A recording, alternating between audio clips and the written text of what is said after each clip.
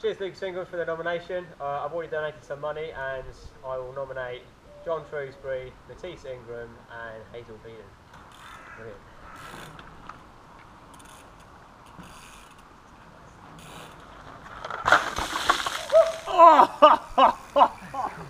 Gold. Oh, Hold on.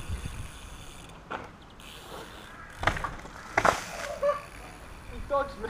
Dodged it. Hold on. Oh, you got some more? This bucket's easier. Oh! Done.